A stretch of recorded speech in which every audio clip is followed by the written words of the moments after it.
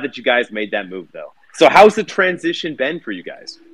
It's been really nice. I mean, it's just first of all, it's just really nice being in a place that wants you. Like that, that that's sort of it's a big difference. And you know, the number of jurisdictions that actually want a crypto company right now is depressingly small.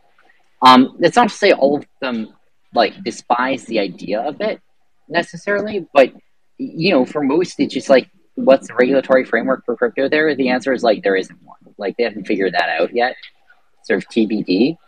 And that's like not a great position to be in. Um, because it's like, you know, what can you do then to be compliant? The answer is no one knows. And um, that, that, that's a total mess. So it's really nice um, to see that change. Like that, that's been a, a real godsend. Um, and I, you know, really appreciative of the relationship with the government here. Um, and it's it's super convenient.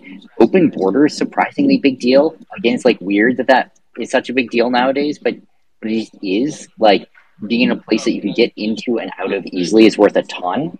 And so, just on on a lot of fronts, it's been a really great move. That that's great to hear. And what what do you think is the reason?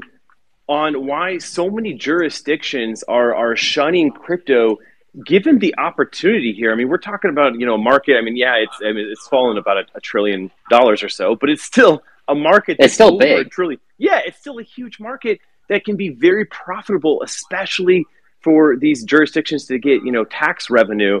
What is the yep. reason they are they are they are shunning shunning this? So it's interesting, and part of the answer to that is many of them aren't actively shunning it right? For many of them, they're like, whatever, we're going to, you know, we're a regulated jurisdiction. If you want to do financial activity here, you need a license. And then they're like, but, but you don't have a crypto license yet, right? Like you haven't, you haven't made one yet. And they're like, yeah, yes, that's right. And you're like, all right, so if you need a license to operate and there doesn't exist a license, then like, you know, like you can sort of see where this is going.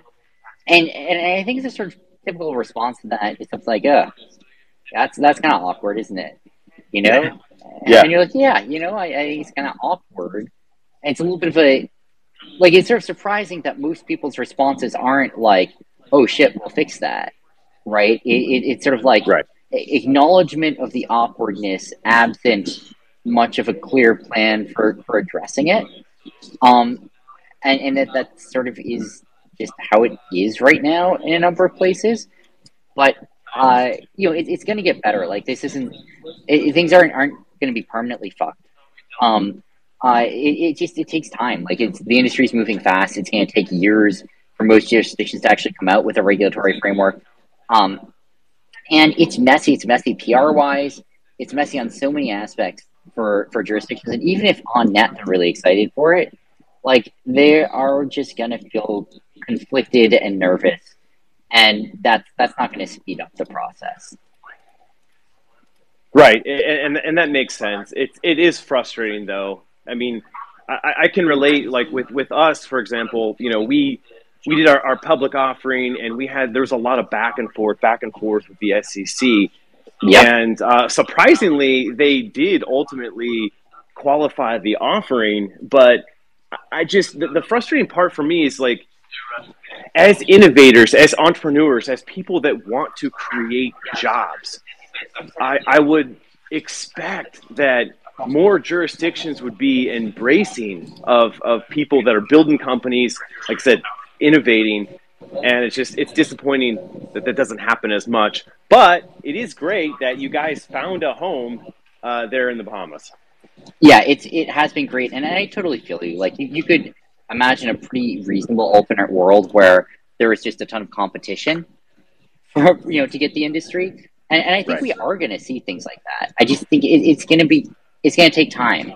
Like it, it's going to be slow moving. And and i don't think people even necessarily will you know i don't think regulators will be like oh it's going to be slow moving and i endorse that as the correct thing. I'm glad that it's mo- slow moving. Like i don't think that's how they'll feel. Um right. I i think it's going to be more of like you know that's how it is. You know that's like we, we acknowledge the downsides in it, but but frankly speaking, that's how things are, and like you know we'll we'll we'll, we'll have to work with that.